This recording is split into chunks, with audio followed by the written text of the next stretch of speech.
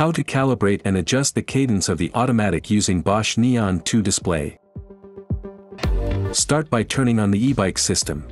When you have a brand new hub interface the system will automatically detect it requires calibration, and will show, calibration required, in the display. If you want to recalibrate the bike, use the controller on the handlebar to scroll to the status screen.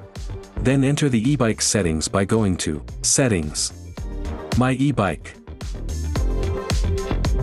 E-shift. And click Calibration. Start calibration by pedaling the e-bike above 30 rpm, this can take up to 25 seconds, until you see calibration completed appear on the display. To change the cadence, click the rectangular button on the remote. Scroll to the screen until you see E-shift. Use the plus and minus buttons to change the RPM setting accordingly. Click the rectangular button to return to the home screen. Now, you're all set.